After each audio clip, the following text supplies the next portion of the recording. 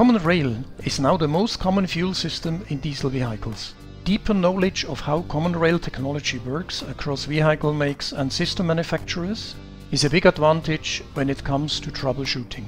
This course starts by covering the basics of operation and requirements for fuel ignition in a combustion chamber. It then examines the whole fuel system from tank to injector, covering the key components and how they operate. Special focus is given to adjusting the injection pressure. The course also delivers clear explanations for high pressure and flow control and how they work in combination. The final part of the course covers troubleshooting.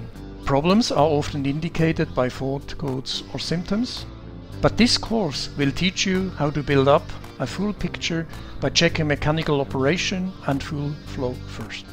Simple tips and methods are provided to help you reach correct conclusions and carry out your work in a logical sequence. As a result of taking this course, you will increase your understanding of different common rail systems and be better positioned to understand the symptoms of the most common problems and the faults behind them. The examples and guidelines included will help you to troubleshoot and achieve clear results from your investigations.